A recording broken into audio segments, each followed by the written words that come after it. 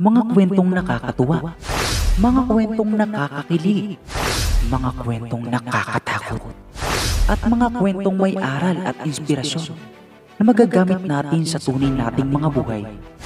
Dito lang sa Tamokski TV.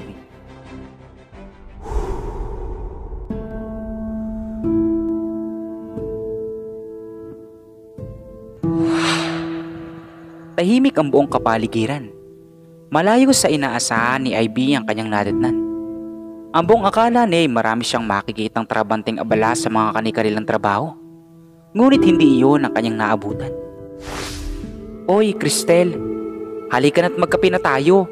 Aya, ng babaeng lumapit sa isang babaeng printing nakaupo sa office desk nito at naglalagay ng kulerete sa kuko.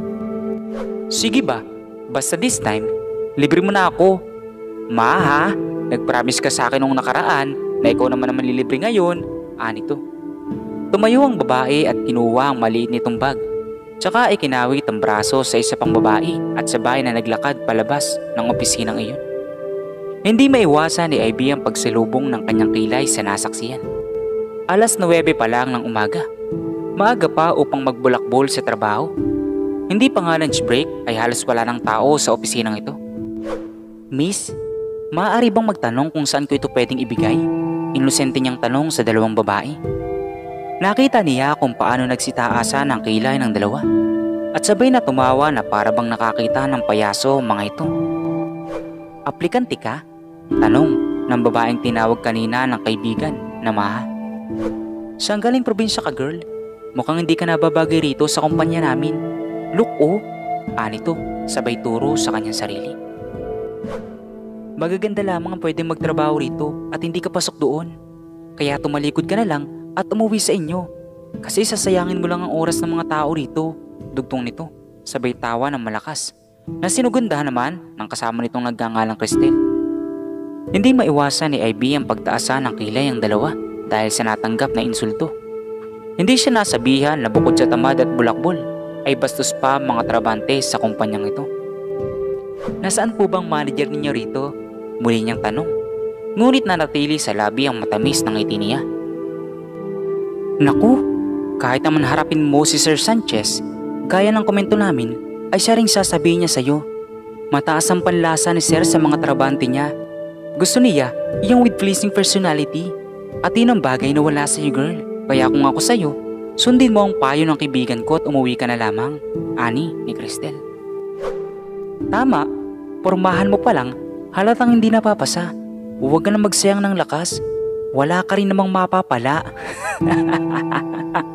Humahalakak na si Gunda ni Ma. Ganoon ba? Mababa namang wika ni Ivy. Kaysa umalis at sundin ang payo ng dalaway binuksan niya ang kanyang bag at tinanap ang cellphone doon.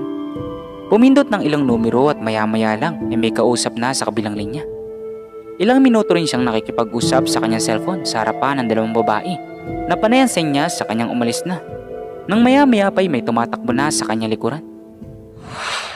Ma'am Ivy, masyadong biglaan ang pagdalaw mo.